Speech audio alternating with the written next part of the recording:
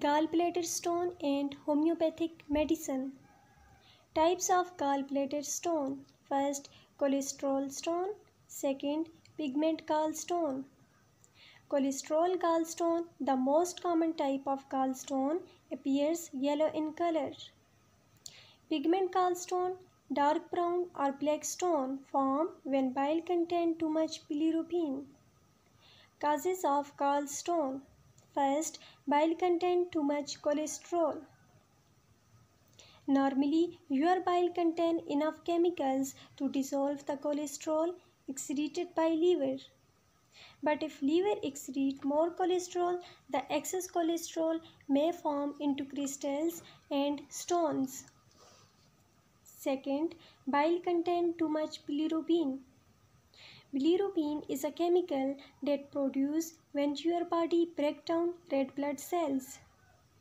Certain conditions cause your liver to make too much bilirubin, including liver cirrhosis, biliary tract infection, and gallstone formation. Third, gallbladder does not empty. If your gallbladder does not empty completely, Bile may become very concentrated, contributing to the formation of gallstone. Complications First, inflammation of the gallbladder. Gallstone that become in the neck of the gallbladder can cause inflammation of the gallbladder, cholecystitis. Cholecystitis can cause severe pain and fever. Blockage of the pancreatic duct. The pancreatic duct is a tube that runs from the pancreas. Gallstone can cause a blockage in the pancreatic duct which can lead to inflammation of the pancreas, pancreatitis. Pancreatitis causes abdominal pain. Symptoms of gallbladder stone.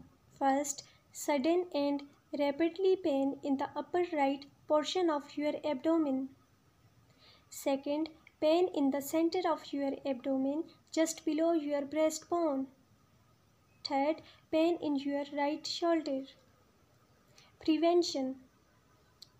First, don't skip meal. Skipping meal or fasting can increase the risk of gallstone. Second, lose weight slowly. Third, maintain a healthy weight. Homeopathic medicine for gallbladder stone. First one is belladonna.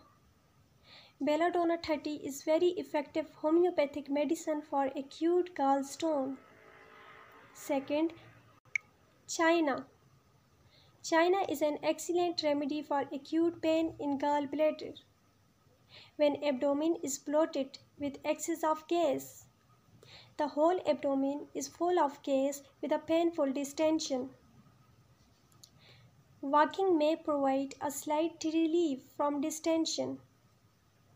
Vomiting. Third one is lycopodium. Lycopodium is very effective homeopathic medicine for gas in abdomen.